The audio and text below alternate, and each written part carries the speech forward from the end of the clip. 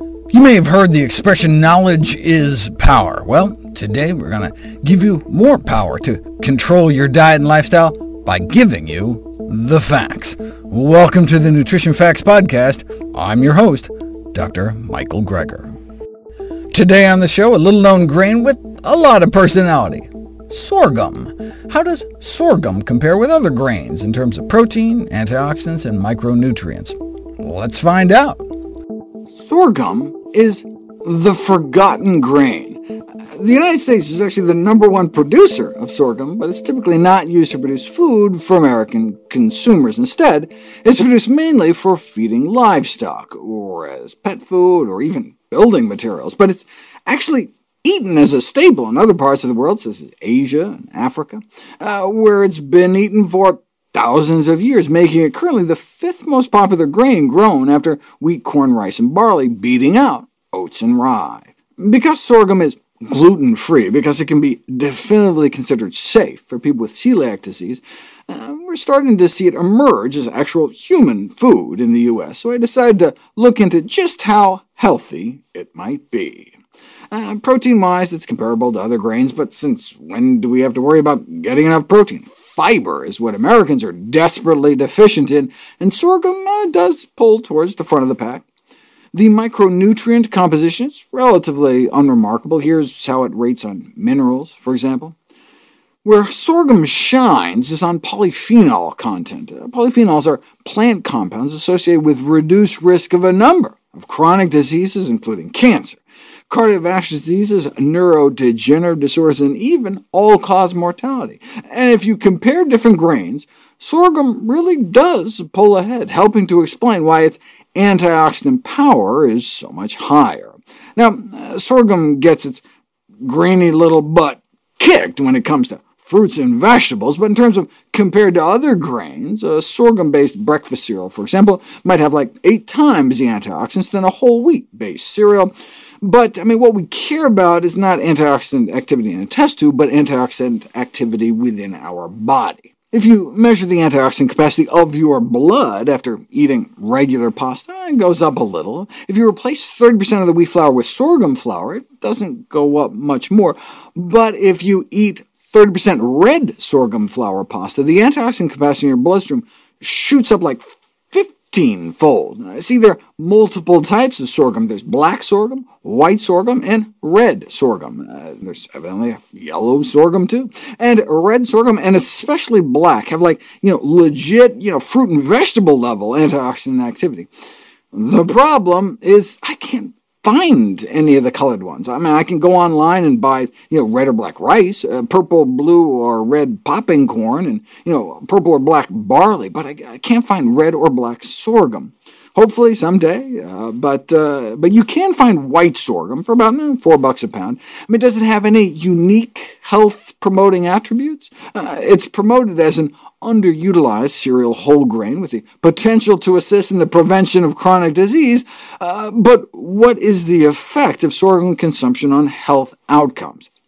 Epidemiological study in China found lower esophageal cancer mortality rates in areas that ate more millet and sorghum compared to you know, corn and wheat, uh, but that may have been more due to avoiding a contaminating fungus than from the benefit in the sorghum itself. I mean, though it's possible. I mean, just as oats are the only source of you know, avenanthramides, uh, which give oats some unique health benefits. Sorghum, even white sorghum, contain unique pigments known as uh, 3-deoxyanthocyanins, which are strong inducers of some of the detoxifying enzymes in our liver and can inhibit the growth of human cancer cells growing in a petri dish, compared to you know, red cabbage, which has just regular anthocyanin pigments. Uh, but note that white sorghum didn't do much worse than red or black, which have way more of the unique 3-deoxyanthocyanin. So uh, maybe it's just a general sorghum effect. I mean, you don't know Ah, until you put it to the test.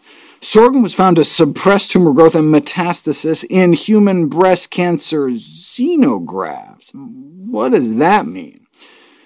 The researchers conclude that sorghum could be used as an inexpensive natural cancer therapy without any side effects, strongly recommending the use of sorghum as an edible therapeutic agent possessing tumor suppression and anti-metastatic effects on human breast cancer, but xenograft means human breast cancer implanted in a mouse.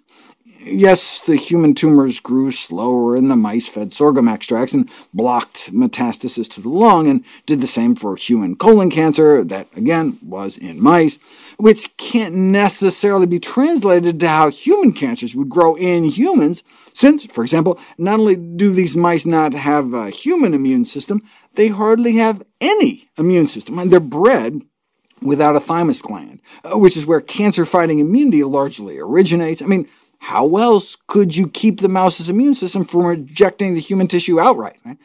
But this immunosuppression makes these kind of mouse models that much more artificial and that much more difficult to extrapolate to humans. And that's a lot of what we see in the sorghum literature, in vitro data, like in test tubes and petri dishes, and rats and mice. Uh, there had just been this critical missing piece of the puzzle needed to link laboratory data to actual benefits in humans missing. That is, until now. Finally today, I share why sorghum is one of my favorite new grains. Despite playing a significant role in Africa and Asia as a staple grain, sorghum has only recently emerged as a potential food source in the U.S. It's not just a principal grain in many parts of the world, but evidently used in folk medicine traditions. What might its health benefits be? Uh, there's been some in vitro data from test tubes and petri dishes, and in vivo data, meaning within the living and laboratory animals, but only recently have we started seeing human trials. In one study, subjects were asked to eat sorghum pancakes versus corn pancakes for supper for three weeks, and both groups saw huge 20 to 30% drops in their cholesterol, but they were also all told to not eat eggs and other cholesterol-boosting foods, so that may very well have been playing a role. Another study tried biscuits. Those eating sorghum biscuits said they felt more satiated than eating wheat biscuits, but this didn't translate to differences in intake at the subsequent all-you-can-eat meal, so I mean, who cares what they subjectively felt if it didn't cause them to eat any less? It's no wonder, then, when you put it to the test, those eating sorghum versus wheat biscuits didn't lose any weight. Though the data is a bit mixed, a recent study concluded that sorghum can be an important strategy for weight loss in humans, though the sorghum group didn't actually lose more weight, but they appear to be eating hundreds more calories a day, yet lost more body fat, perhaps because of their greater fiber consumption or other goodies like resistant starch in the sorghum. Uh, the vehicle they used, though, an artificially flavored, colored, and sweetened mixture of water, powdered milk, and either sorghum or wheat, uh, may be good research-wise, so you can make a blinded control, but it leaves you wondering what would happen if you actually ate the whole food. Uh, the resistant starch is exciting, though. I mean, most of the starch in sorghum is either slow starch or fully resistant to digestion in the small intestine, which offers a banquet bounty of prebiotics for your good gut flora down in your colon. It's not evidently the sorghum starch itself, but interactions with the proteins and other compounds that effectively act as starch blockers, inhibiting your starch-munching enzymes. Sorghum then ends up with the lowest starch digestibility among grains, which is why traditionally it was considered an inferior grain, but inferior in the sense of not providing as many calories, but not providing as many calories is a good thing in the age of epidemic obesity. Give someone a whole wheat muffin compared to a sorghum muffin containing the same amount of starch and see significantly higher blood sugars 45 minutes to two hours later, and a higher insulin spike starting almost immediately. Overall, a 25% lower blood sugar response, and the body only had to release a, a fraction of insulin to deal with it, uh, less than half. Same thing with diabetics, lower blood sugar spike with a sorghum porridge compared to grits that the body can deal with with a fraction of the insulin. Uh, so we need to educate people how healthy sorghum is and develop convenient, tasty products?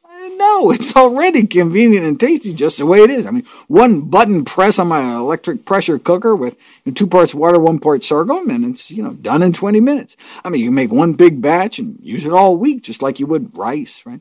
But where's the money and people eating the intact whole grain. Instead, the industry is looking at sorghum for its enormous potential for exploitation into so-called functional foods and food additives. Or, I mean, uh, did you know adding sorghum to pork or turkey patties can decrease their cardboardy flavor? And hey, why just eat it when you can instead use it to make gluten-free beer? You know, it's funny uh, How Not to Diet, when I was talking about taxpayer subsidies to the sugar, corn syrup, oil, and livestock industry, subsidizing cheap animal feed to help make you know, dollar menu meat. I jokingly asked, you know, when's the last time you sat down to some sorghum? But hey, now that I know how good it is for you, maybe we should be taking advantage of the quarter billion we're spending to prop up the industry and sit down to some sorghum after all. We would love it if you could share with us your stories about reinventing your health through evidence-based nutrition. Go to nutritionfacts.org slash testimonials. We may share it on our social media to help inspire others. To see any graphs, charts, graphics, images, or studies mentioned here, please go to the Nutrition Facts podcast landing page. There you'll find all the detailed information you need, plus links to all the sources we cite for each of these topics.